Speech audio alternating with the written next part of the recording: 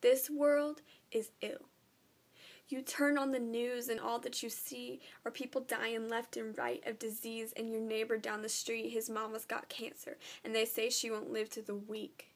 All the wars in the world that leave people broken to the gangster next door who's sitting there smoking. When did this become the norm?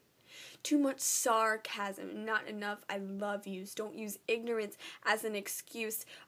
Broken promises tear families apart, and that guy you've been dating, he's got no respect for your heart.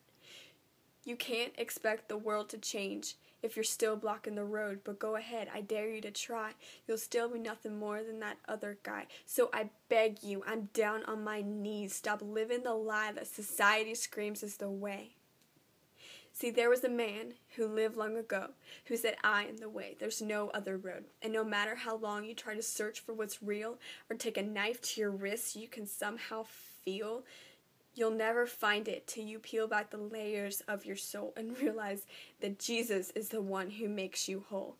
So you're missing the whole point of life if you're trying and dying and crying out for the world to save you because the world didn't make you know.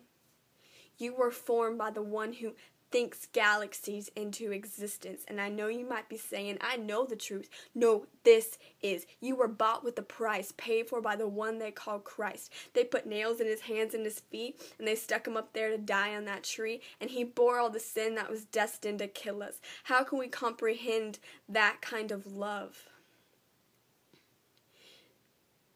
Now, you don't have to believe all of this, but think about it a world full of lies, or the one whose name's Jesus.